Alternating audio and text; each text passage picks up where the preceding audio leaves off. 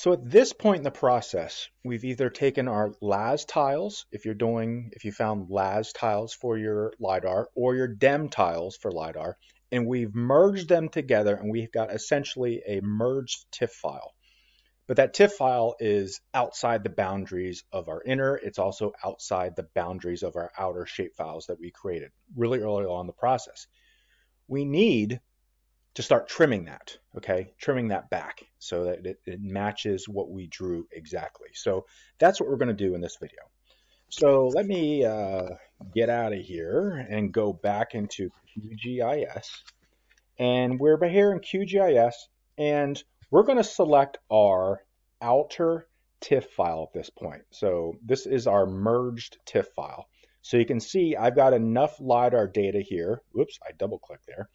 I've got enough LiDAR data here to cover our outer shape that we made. Okay, remember, if you don't have enough data to cover your outer, you got to get more tiles. Okay, so we're going to come up, we're going to highlight this, and we're going to come up here at the top to raster, go down to extraction, and clip raster by extent.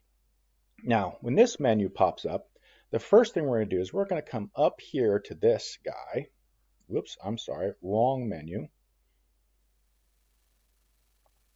And we're going to do calculate from, so this little drop down menu right here, we're going to do calculate from layer, and we're going to use our outer, okay?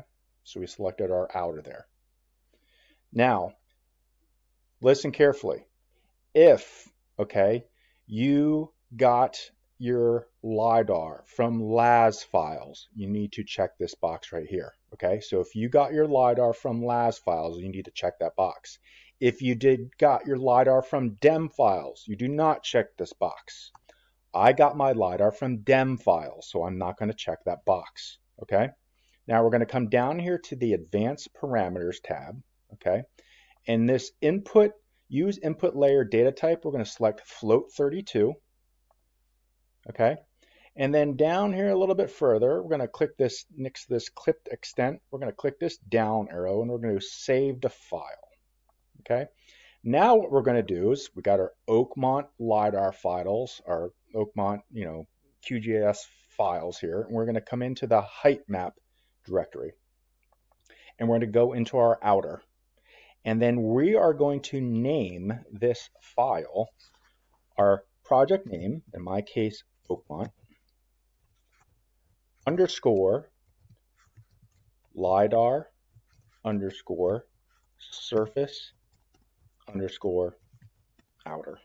Okay, and now I'm going to click save.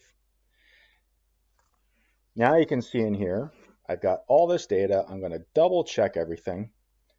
And I'm going to click run. That's going to, now I can hit close. And now we'll see that we have our surface LiDAR inner right here. And you can see what happened is we essentially trimmed this area here. If I get rid of that, you can see that that is now matching my outer. And you can start to see how things are starting to come that. So I'm turning off my entire LiDAR data right now. And then there is my outer. So you can see that I've trimmed that to reflect my outer now. Okay, cool. So we now have our outer finished. Um, always a good idea. Let's come up here um, and I'm just going to save my QGIS file.